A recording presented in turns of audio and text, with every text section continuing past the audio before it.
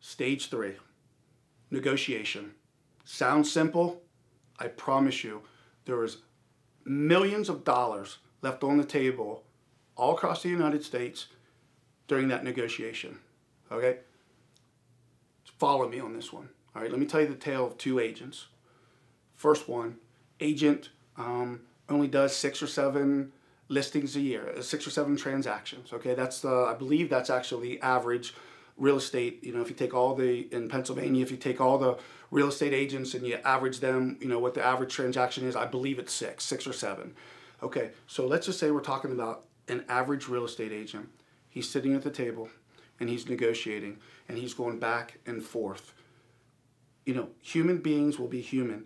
He knows that he has to close this deal to get paid. Is he fighting for your best interest?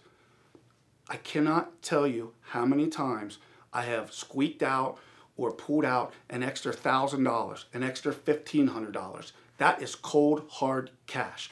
And unfortunately, when I work for you, I'm your pit bull. I'm your fighter, I'm your boxer, I'm your brawler.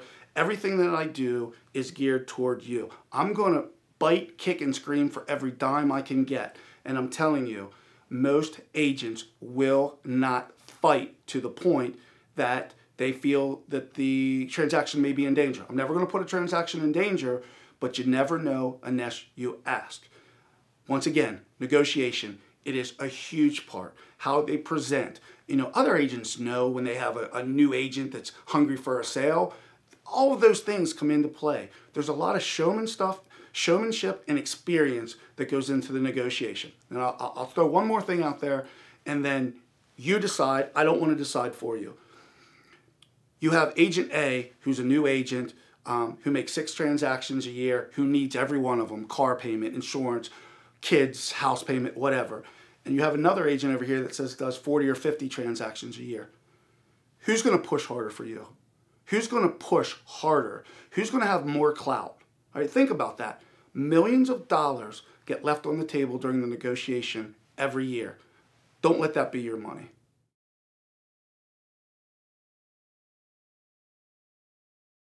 The most important component in a real estate transaction is your relationship with your realtor. So many times I hear, I never liked him. Um, he rushed me. I, I never felt like I was his priority. It's the number one component. You can have everything else, but if you don't trust and believe in your realtor, it's not going to be a pleasurable transaction. So let me tell you briefly about me. I'm former military former police officer, form, former SWAT team, trained in negotiation, um, interrogation, all of those things. I bring all of those training and all of my experience every day to work for you. I'm a very straight shooter. What you see is what you get. I'll give you the information. I won't sugarcoat it. I don't believe that's what people want. In closing, I believe people want a realtor that does what they say they're going to do and tells the truth.